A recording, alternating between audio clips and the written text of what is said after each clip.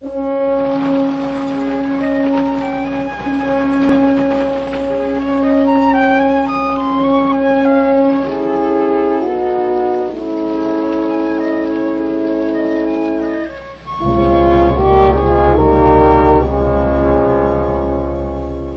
be all, Judge. You may step down.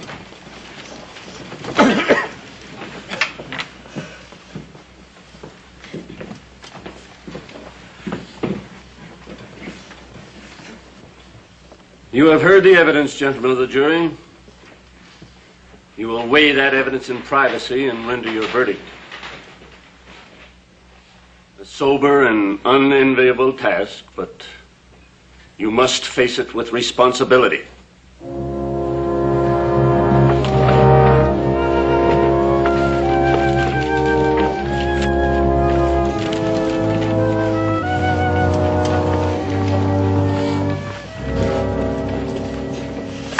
You bet, Judge. Send those good men into their little hate closet, that's right. Send them in there so they don't have to look at me when they tie that rope around my neck. Weigh the evidence, huh? Seems to me around here lies weigh up heavier than facts. And you, you gaping bunch of sheep. Like a medicine show, ain't it? That's right. Step right up and get your tickets. See a man do a rope dance. See him kick. See him squirm. Man, stop it! And don't forget your box lunches. Not doing yourself any good.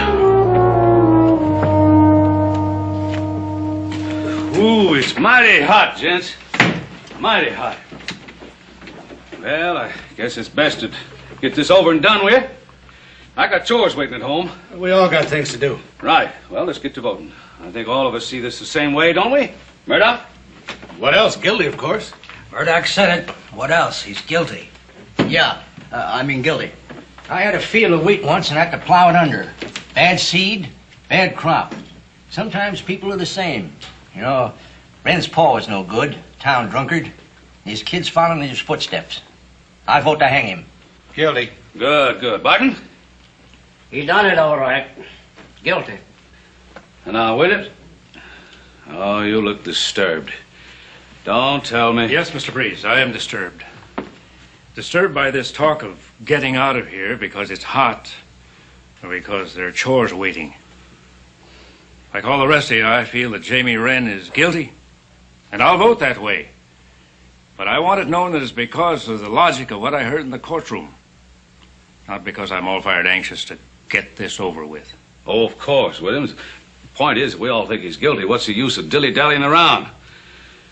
Oh, one more vote and we'll have this behind us. Just give us your guilty. We've had enough oratory. I ain't much on oratory, Mr. Breeze. Just remembering what the judge told us. He called it reasonable doubt. I reckon that's what I got. Are you going to tell me, Hoss, that you doubt Jamie Wren's guilt? Yes, sir. I guess that's exactly what I mean. I got to vote not guilty.